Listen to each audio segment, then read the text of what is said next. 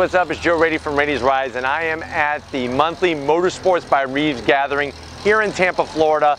And I stumbled across, I know some of you might say, hey, didn't you already do a Ford GT? Listen, I can't stop doing this car. I have a man crush on this car, and I am just in love with it.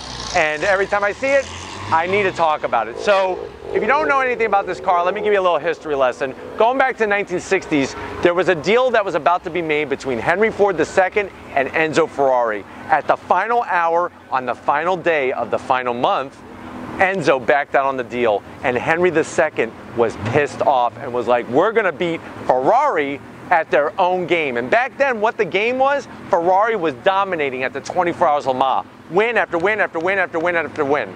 So what they did was is they constructed a car called the Ford GT40.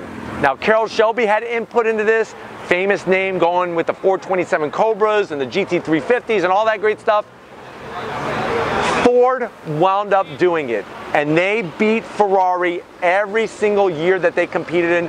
Four years, four wins, got the business done. It was an amazing time and to honor that whole thing, they created in 2005 the Ford GT. Now, if you look at the Ford GT, you're gonna see a lot of the same lines from that original GT40. Now, the Ford GT is not 40 inches off the ground. That's what that 40 meant. This one's a little bit taller. That's why they dropped the 40.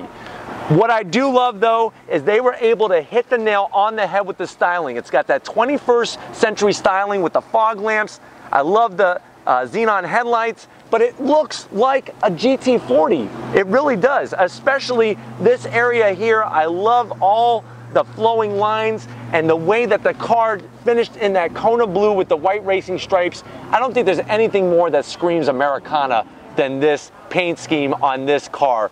Love the lower lip spoiler here perfect, perfect shape. And what's crazy is these cars are skyrocketing in prices. Ones with low mileage are going for over $250,000, $300,000. It originally had an MSRP of around 189, 200. So it's kind of crazy that even though the car's only been around since 2005, which is only 13 years old, they're already appreciating. Now, if you want one of these, you only have two years to go, 2005, 2006. Some things I want to point out. When it comes to the Ford GT, there are only four options. This car has all four. These wheels are one of the optional wheels. This is not the stock wheel, optional wheel. I love the silver with the blue. I love the design of the wheel, and there's that Ford GT logo there. You can see the red calipers, cross-drilled rotors from the factory, fully ventilated. This is an 18-inch wheel. So remember, back in 2005, we weren't going 20 inch wheels yet. So 18 inch wheel looks perfect, works perfect. Let's work our way down the side here. I don't know if Tom wants to wrap around and just show you the clear lines of this car just coming back to this uh, rear scoop. Now, remember, this car is a mid-engine car. It has a supercharged V8 putting out over 540 horsepower. I love the heritage lines down here with the Ford GT name. So, so far you saw two options.